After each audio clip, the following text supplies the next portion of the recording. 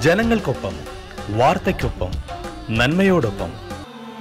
N T V U A to the world